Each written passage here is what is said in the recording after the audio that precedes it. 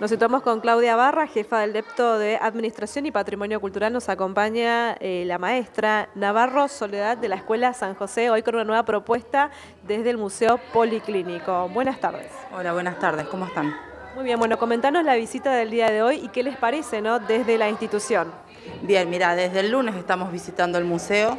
Vinimos primero con los nenes de primer grado, ayer nos tocó segundo y hoy por último la visita de los nenes de tercero son tres grupos que vienen a, ver el policlínico y el Museo del Ferrocarril y la verdad que es una linda propuesta porque ellos se entretienen mucho y son cosas que necesitan conocer de su localidad.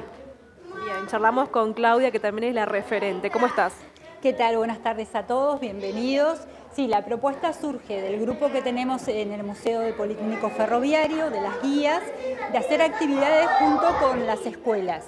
Eh, el museo, eh, entonces mandamos invitaciones, primero al Jardín de Infantes, luego al Colegio San José, y ellos como estaban con el tema del tiempo, hicieron esta guiada que se llama La historia del tiempo, donde le explica cómo eh, fue la historia del, surge la historia del reloj a través del tiempo desde los primeros egipcios hace 4.000 años atrás hasta lo que es hoy en día.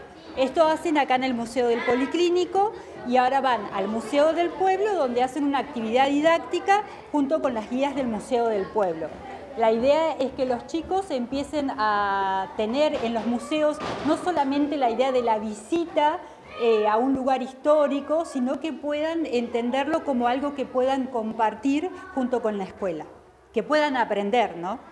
Bien, Claudia, muchas gracias. ¿Algo más que quieras agregar? No, le agradecemos la invitación y estamos predispuestos a seguir pasando lindos ratos junto a Claudia.